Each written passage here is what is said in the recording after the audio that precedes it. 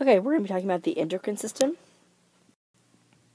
The endocrine system is basically the body's second great controlling system outside of the nervous system. So it has influence over your entire body and how it works and how it functions. It influences the metabolic activity of all the cells, all of it by hormones. Hormones are these chemical substances secreted by the cells into the fluid, and they've got a wide, wide range of functions.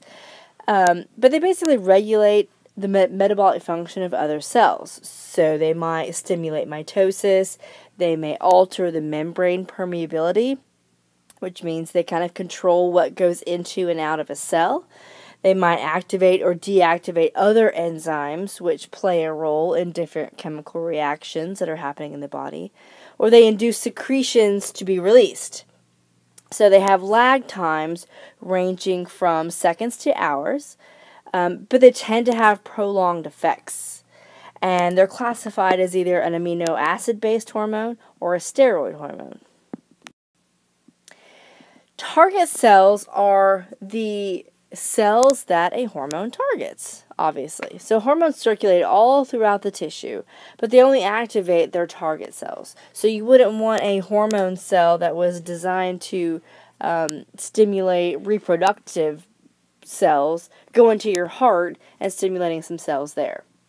So the target cells must have specific receptors on them to which that hormone binds. These receptors may be intracellular, meaning that they're inside the cell, or they're located on the plasma membrane. So hormones, uh, or hormones can either be upregulated or downregulated. So upregulation means the target cells form more receptors in response to the hormone. So the hormone binds and the cell is stimulated to add more receptors so that more hormones can bind. Downregulation is that the target cells lose receptors in response to a hormone. So it's whether a hormone is, is turning on a cell's activity or shutting it down.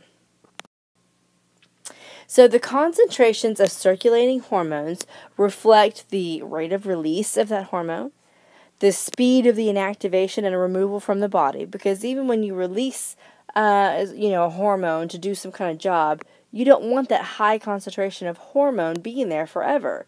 It needs to be um, taken back down or down regulated.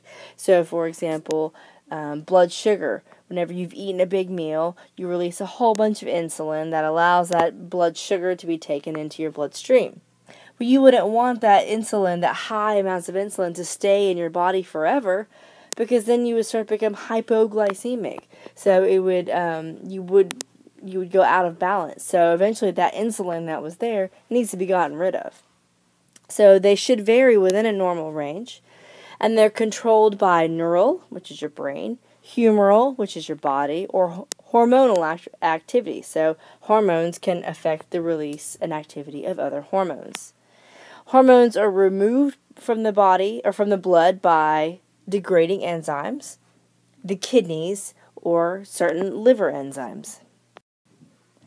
The nervous system can override normal endocrine controls, for example, again, blood sugar levels. These are normally controlled by endocrine glands, but during periods of high stress, uh, the body needs more glucose, so the hypothalamus stimulates the release of more glucose into the blood. So just think about a situation where you have a lot of adrenaline going. Maybe you got to run for your life. Someone's chasing after you.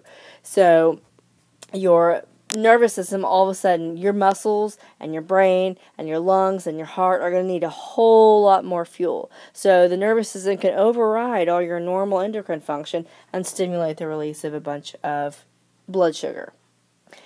It can also stimulate the blood vessels to constrict, the heart rate to rise, diverting blood to different places like the heart, the brain, and the muscles.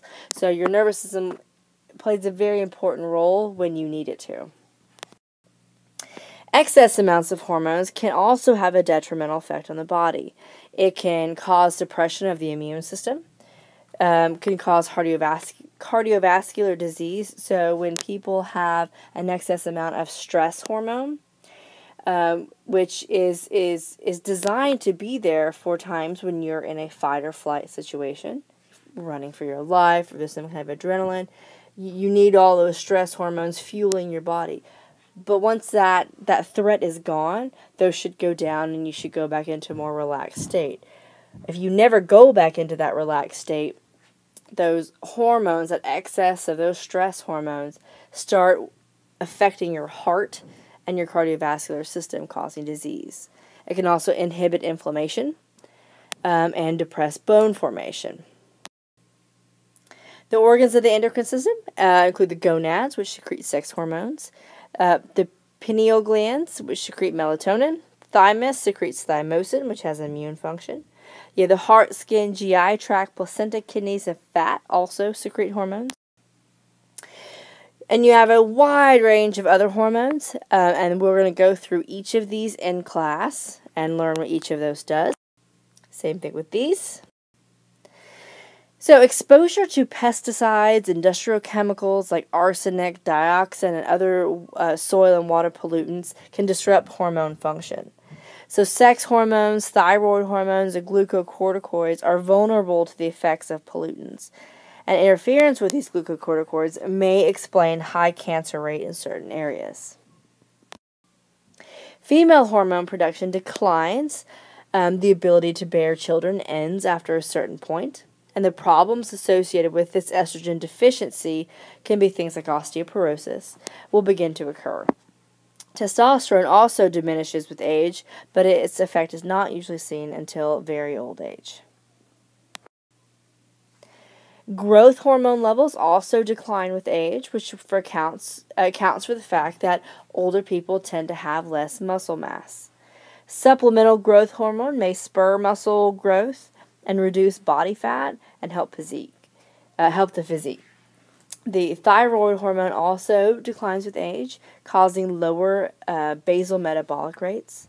And the parathyroid hormone levels remain fairly constant throughout age, um, and lack of estrogen in women makes them more vulnerable to bone demineralizing effects of the parathyroid hormone.